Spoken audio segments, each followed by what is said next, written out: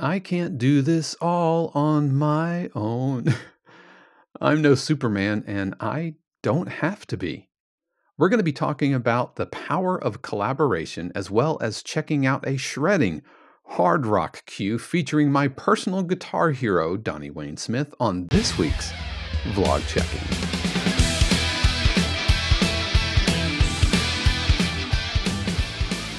What is happening, YouTube? This is Dave Kropf. Thank you so much for joining me for my week 17 check in. And if this is your first time, welcome aboard. I'm so glad that you found me, however, you found me the YouTube algorithm, or maybe the Facebook group, or or maybe a friend, or I don't know, maybe the universe just conspired to have you join me.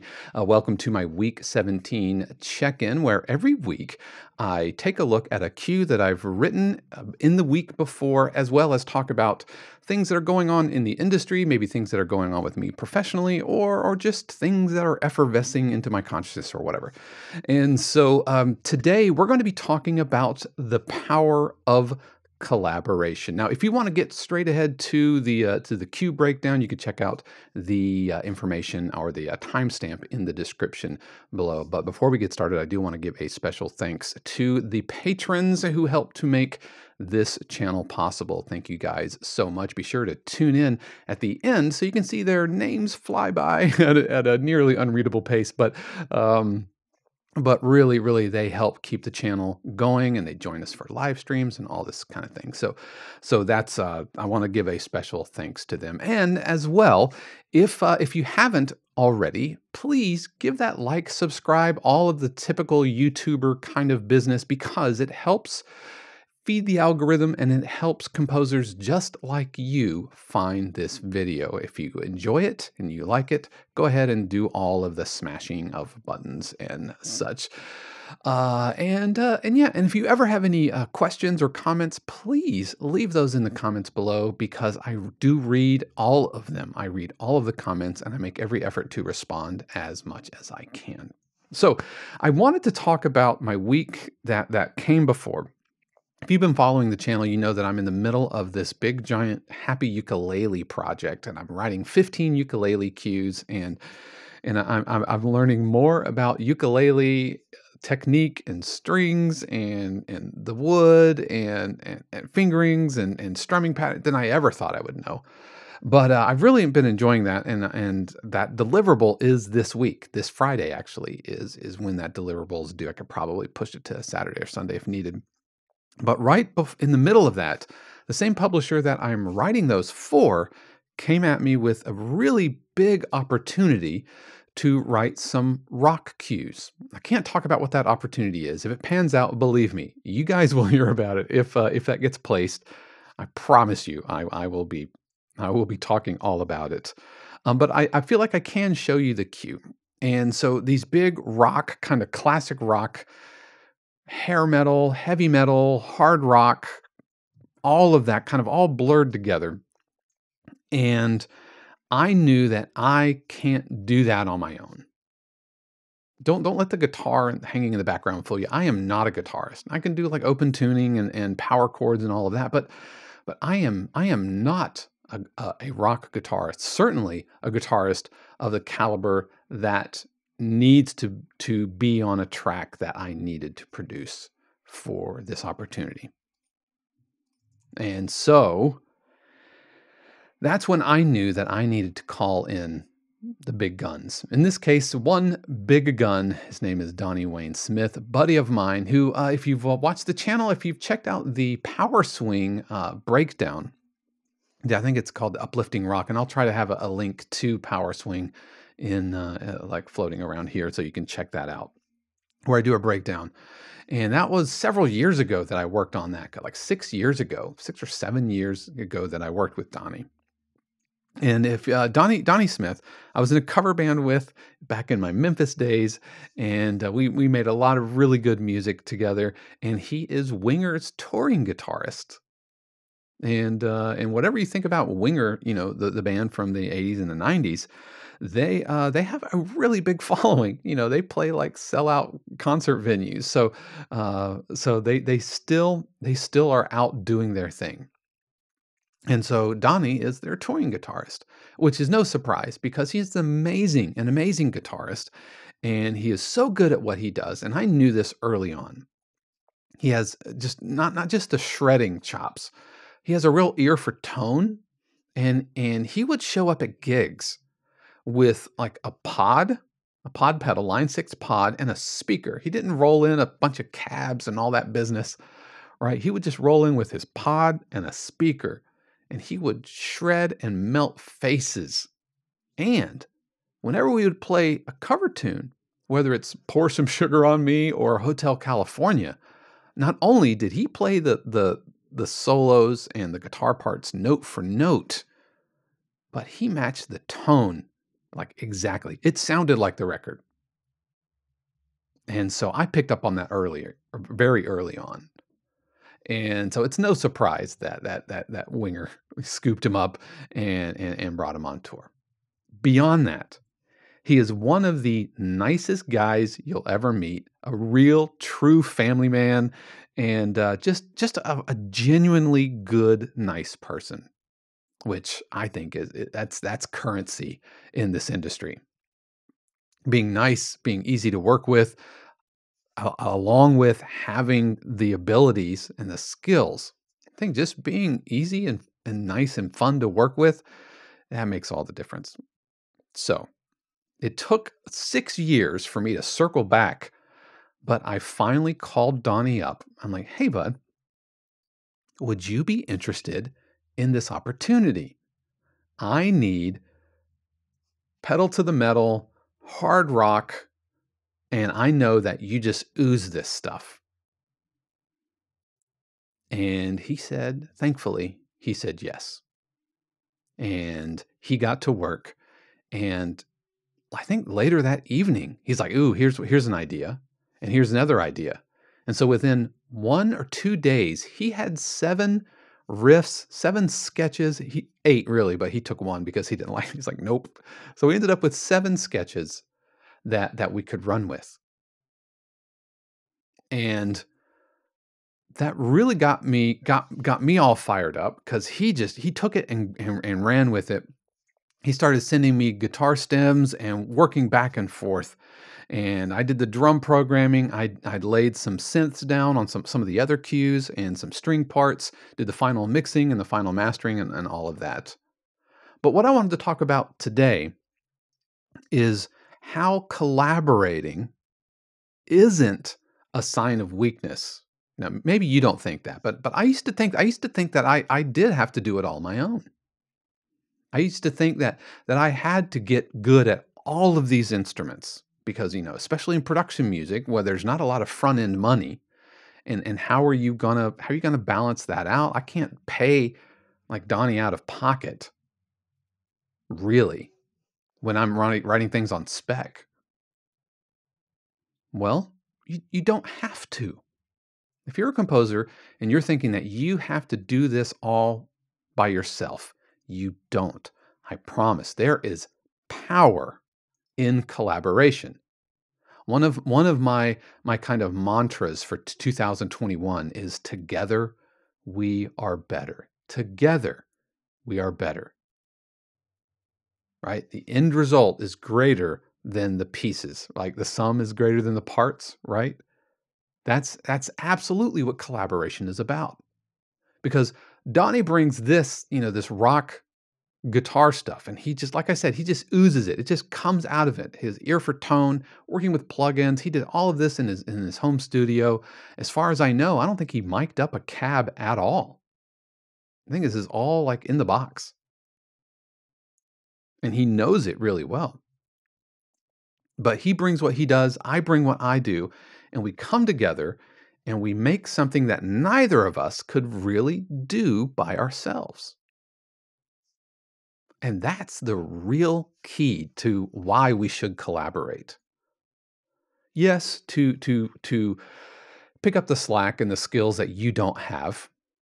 In my case, like rock guitar. That's a that's a real hole in my my uh, my catalog is is like good old fashioned rock because I'm never gonna get there. And to be honest, I don't I don't have any desire to get there. I don't have any desire to sit there and like run pentatonic shapes on a guitar neck. Just like Donnie probably doesn't have a desire to to learn about, you know, intricate key switching and, and string libraries and everything. But collaborating isn't isn't just about filling what you can't do as a composer. It's about drawing on each other's energy. It's about working together towards a mutual goal that the end result is, is better than either of you ever could have done on your own. And that absolutely happened last week. It was, it was, it was, this is going to sound so cheesy. It was kind of magical, right? It, it was, it was like, he would feed me something and he would send me something and I would get so like geeked out about it. I'd go into the studio and I'd start working and then and then we would open up a Zoom window and uh, and I would like text him an MP3. What do you think of these three measures? And he would say, "Ooh, try this," and I would say, "Ooh, try that." And it became this kind of back and forth electric environment that fed on itself to where by the end we ended up with three cues. We started with seven, eight sketches. We ended up with three cues that I am so enormously proud of that I quite literally listened to them all weekend long. Put them on my phone, listened to my headphones in my car. I'm sure I was driving Shannon crazy, my wife. But she's a musician and she gets it. And that is the power of collaboration. You find someone that really you can resonate with, someone that could feed your muse and you're feeding their muse, and it becomes this feedback loop, no pun intended, but a feedback loop of creative. It's like this creative momentum, this avalanche of output that just is almost unstoppable. You guys know that, that I get up super early. Like today, I was up at four o'clock. It's seven thirty in the morning Eastern time here. So I was up at, at, at 4 a.m. this morning. And last week, I was up until uh, Thursday night, which was right before the, the, the deliverables were due. I was up until about one o'clock. Now, suffice it to say, I did not get up at 4 a.m. Friday morning because that was what what what the uh, the moment called for. But I'm here to encourage you to reach out to anybody you might know, anybody in your past, maybe somebody you've met on the forums, and then just offer to start collaborating, even if it doesn't turn into anything. But Donnie and I were in a cover band 10, 12, 15 years ago. Oh my God, has it been that long? And he did he did some work for me back uh, six or seven years ago. And just last week, we connected and we're having this this really really great time. I mean, I definitely feel like I'm getting the better end of the deal. I get the feeling that he feels the same way, and I think that is is the is the basis of a really good solid collaboration. Yes, really good solid collaboration. Now, I, I want to take a moment and talk about how a production music composer can quote unquote pay for collaboration. Okay. Well, the first the first way is is just uh, if if you want to work with somebody, is just pay them money. But that's really tough in a production music world because we write so much on spec. We we get very little upfront money, and so out of pocket is really really tough. And I get that, which is why you can compensate your collaborators in other ways. So, one way is to trade services. And that's what Donnie did, Donnie and I did back on Power Swing. We traded services. He played some guitar for me, I played some harmonica for him. We signed a little, you know, work for hire agreement and all of that. And then we're done. But if you're really looking to be collaborators and not just kind of a work for hire, which we are, me and Donnie are, then I would encourage you to just go 50 50 on the royalty splits. just don't don't don't squabble over royalty cuts. I have found that that uh, if you're really looking to collaborate, then trying to say like I'm doing 73% of the work and you're doing 20, you know, that I, I think that just kind of leads to, I don't know, angst or whatever. And this is something that a fellow composer turned me on to. He's like, you know, just call it 50-50 and and it just simplifies everything. And if some if you're working with someone and you feel like it has become inequitable, then just kind of just say, I, I, am unable to do that, which I've, I've had before. I've done that before. I've collaborated, and that same uh, the same collaborator wants to work on something a little bit later, but uh, it really either wasn't the right time for me or whatever, and I just kind of had to step away and say, I'm sorry, I'm unable to do that right now. And that's cool. But what I didn't get into is like squabbling over splits. I, I personally, I, I just I just think that doesn't work out.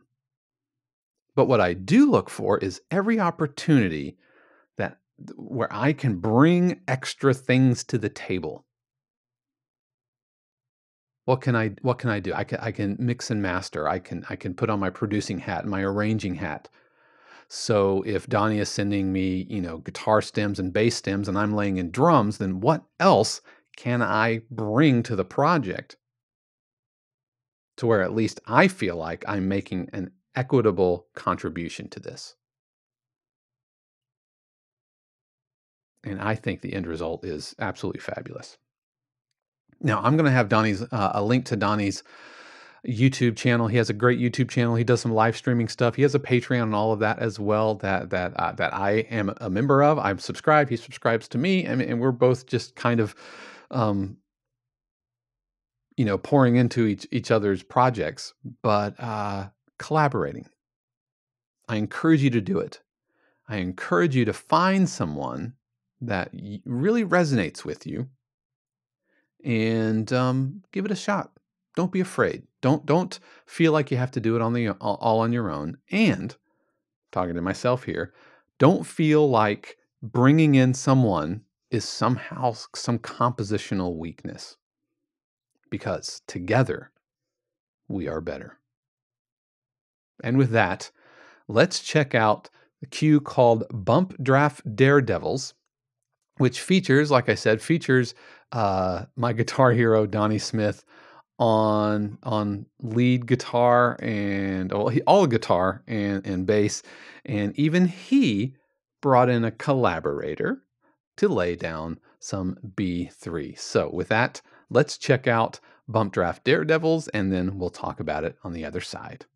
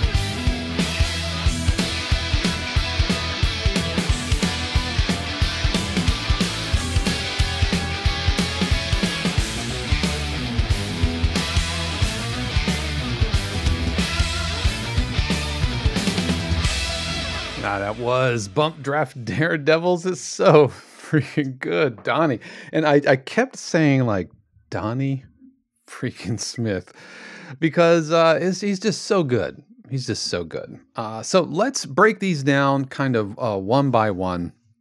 And uh, and the first thing that he kind of sent sent along to me were these uh, these these kind of these riffs. Now these are uh, double tracked, so I have a left channel and a right channel that I have grouped up here in Logic, so that you know as I move them. And then he has uh, one which is centered, so it's a mono channel.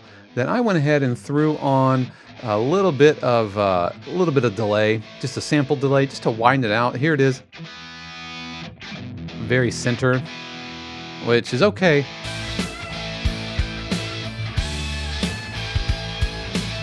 But I just think when you widen it out, putting on that sample delay by about 20 milliseconds just tends to, uh, I don't know, just lets it breathe just a little bit, especially when you're dealing with uh, with tracks that are going to have dialogue right down the center, then I find that kind of pushing things to the side tends to work out pretty well. And then we have uh, our bass channel. I'll come back to my lead here in a second. So the guitar is really, really very straightforward.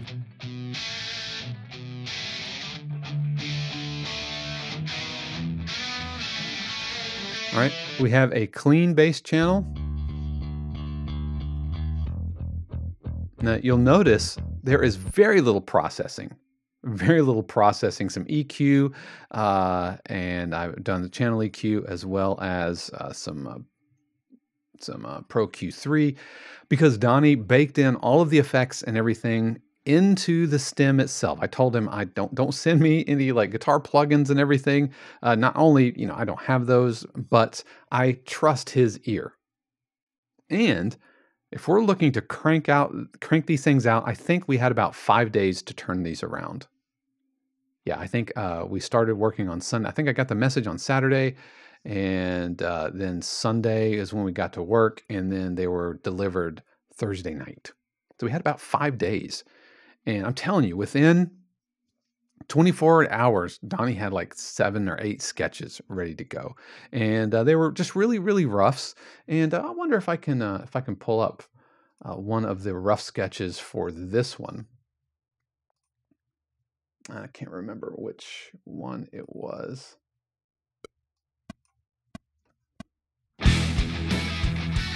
No, not that one.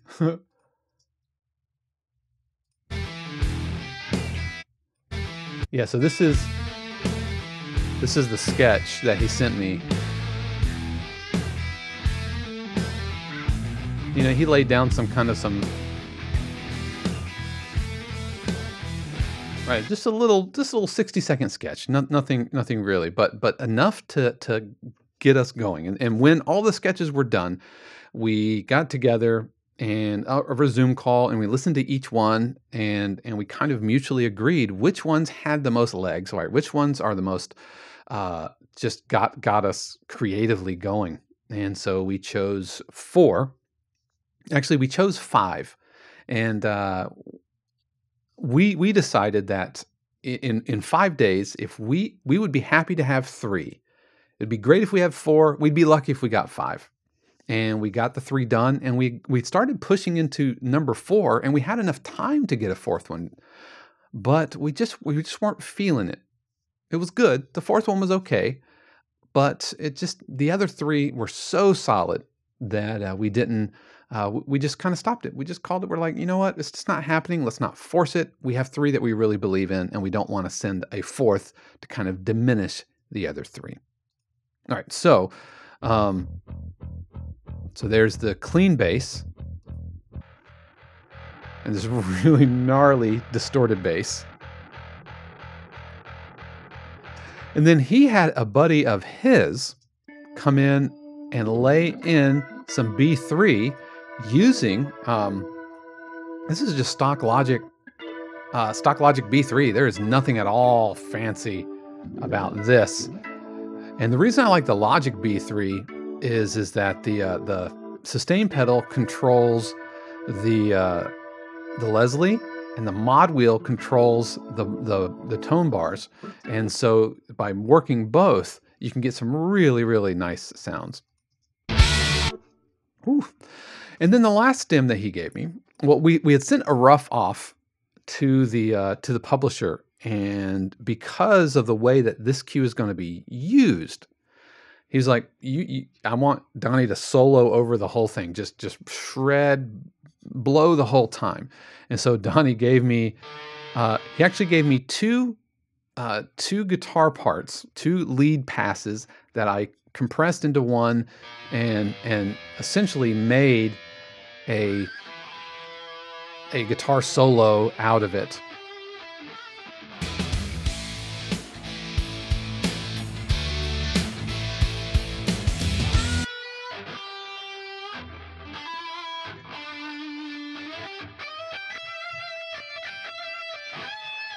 Right, so there's an edit. And the edit here. Donnie freaking Smith, right? And so it was my decision uh, as kind of the the arranger producer of this, of, of, of where the lead was going to come in, where it was going to go out, as well as uh, he sent me a couple of uh, different bass feels. So so when are we going to like uh, driving eighth notes to quarter note bass feels and that kind of thing. And so that's what led me to the overall arrangement. And I'm, believe me, I'm getting to the drums here in, in a moment. And so uh, the arrangement starts off with the, the overall hook. Now, if it sounds like a Home Depot commercial or an interstate car battery type of GMC ad, mission accomplished. That's absolutely the vibe we were going for with this. So we have the hook, then we have the B section.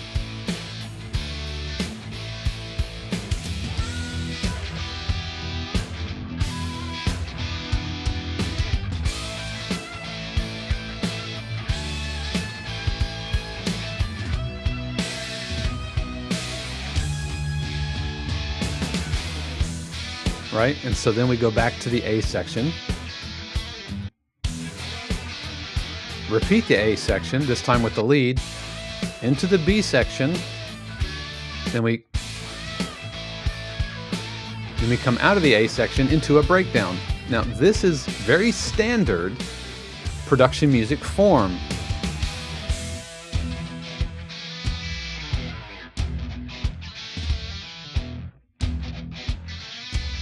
And you can see a lot of editing in here because I brought in and started like chopping up all the bass parts here. I wanted to boom, boom, boom, boom, boom, boom, boom, boom, boom, boom, boom, boom, boom.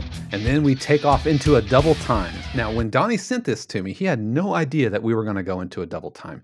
But this is something that I absolutely love as a drummer, and something that my wife Shannon, who is a music director, loves this kind of thing too, and even loves when you pull out of a double time into like a halftime groove. All right, so we go into this kind of jump chorus, and so Donnie brings in a, a new guitar, kind of the shout chorus kind of thing. All right, and so we, we do this, we're, we're banging all to give increased energy into this halftime thing, which my wife Shannon loves.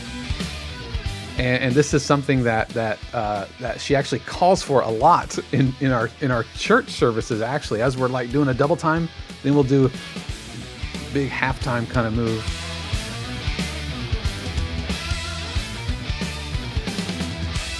And you can see here, this is some arrangement where I took the tag, boom, boom, boom, boom, boom, boom, boom, boom, repeat, boom, boom, boom, boom, boom, boom, boom, boom, boom, boom, boom, boom, boom, boom, boom, boom, boom. And then I gave that back to Donnie, and Donnie laid in. Uh, once, once, uh, once we got into the double time, he retracked this shout chorus with this pick scrape, man. And so retract, and then added these guitar stabs. These, these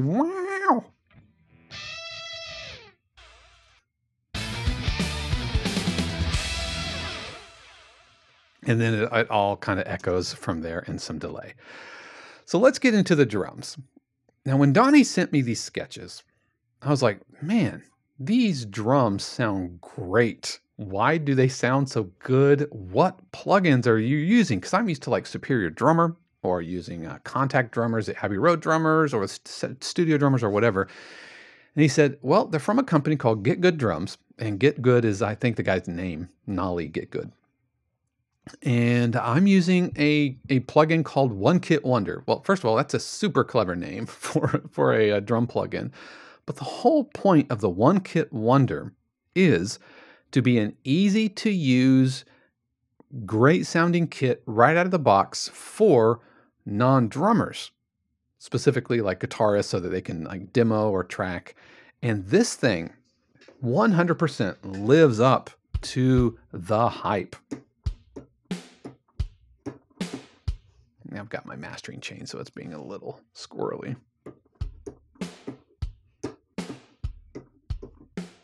all my processes is creating all kind of latency, but you get the idea. So let me actually solo this.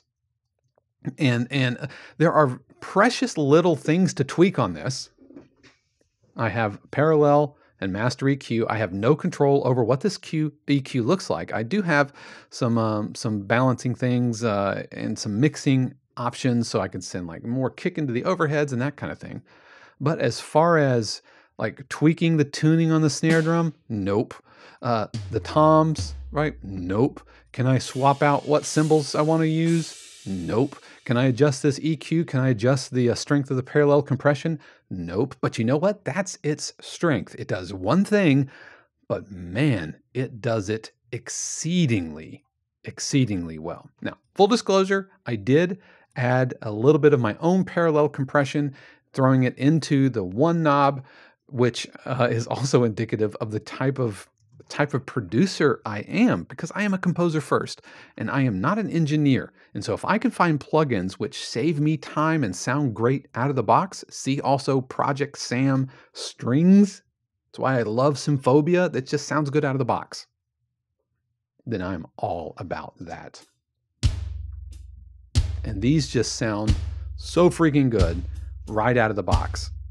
And detailed. Lots of velocity layers.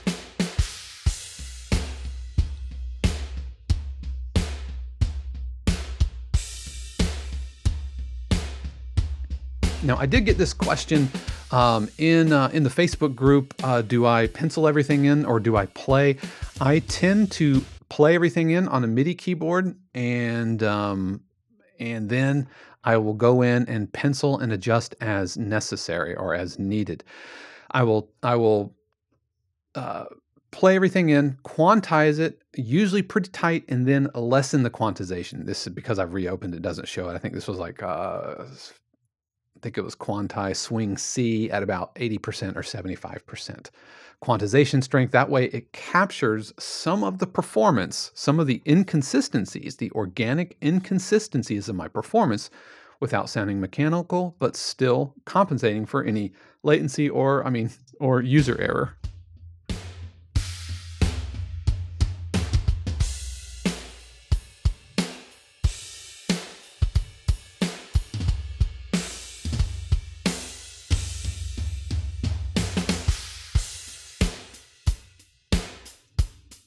Now, I come at this as a drummer, and so I play this as a drummer would play it, which means that I'm thinking what my right hand is doing. My right hand's playing the crash, and then when it's done, it's going to move back over to the hat. And so that's what's going on there. That's why there's no hi hat on the downbeat. In the, in the crash, right hand over here.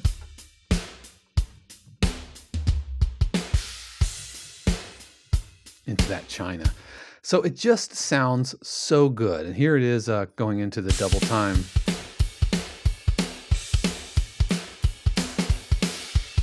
Into the halftime, inspired by Shannon.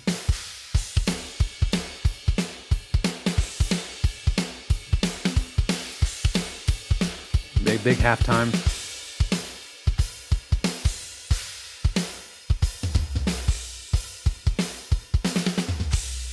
Right? And so uh, when I do this, uh, when I program drums, uh, I tend to take one pass where it's just usually kick and snare, and then I'll add uh, the cymbal work. and then I will add the uh, tom work. And so that is that is Bump Draft Daredevils, and I'm so happy and so glad. I'm so glad that Donnie said yes. So if somebody comes to you wanting to collaborate and you have the bandwidth for it, say yes. Who knows what'll what'll happen? Who knows what kind of relationship will will will blossom maybe 5 years or 15 years later or maybe 5 months later or maybe in a week you'll crank out 3 tunes which hopefully will not only score you tons of royalties, you're right, knock on wood, God willing, speaking that into the universe, but will also be something that you are both so incredibly proud of that regardless of what happens, you have no regrets. I have no regrets. We've left it all out on the field. And so uh, I'm really, really uh, happy that Donnie, uh, Donnie said yes to that. But that's going to do it for me for my week 17 check in. As always, uh, thank you for watching. If you haven't already, hit that like, subscribe, all the standard YouTube stuff. It really does help composers find this uh, find the channel. Also, a big shout out to my patrons who give their real life, actual hard earned money to help keep this channel afloat. If you're interested in joining, patrons start just at a dollar. So, uh, patrons also have access to my weekly live streams. Last week during the weekly live stream, I I programmed drums for another rock cue, and uh, and I did that live. So so yeah, thank you guys so much for joining me. Until next time, peace.